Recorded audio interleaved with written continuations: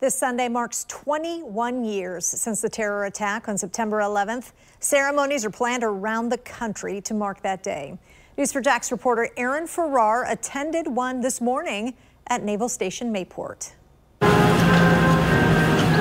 Moments from 9-11 remembrance ceremonies like this cause you to remember where you were and what you were doing on that Tuesday morning almost 21 years ago.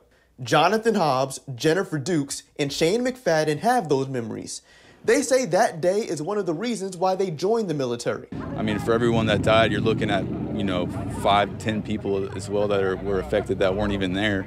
Um, so everything is a, was a massive domino effect. Hobbs has been serving in the Navy for almost a decade. Dukes, a little bit longer with 14 years. They were in 6th and 11th grades respectively and understand there's a call of duty on their part teach the next generation about this important date in history. It's a great responsibility because they could have been told one story or, you know, not really know the, the true facts of it. You know, I can probably help them with those things that they do, they do not know. This trio, among other sailors, firefighters, and first responders, reflecting on 9-11 during a ceremony at Naval Station Mayport, remembering the more than 3,000 who lost their lives, their sacrifices honored with words of comfort a moment of silence. Toward the end of the ceremony, there were three rings from this bell at three different times.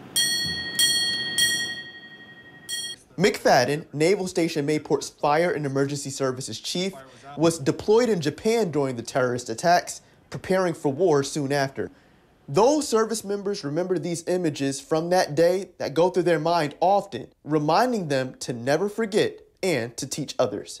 And as long as we keep preparing them for things that could happen and teach them that there's some things in life that are more important, uh, you know, humanity and, and country and worldwide and things like that, uh, keep that message going as they get older.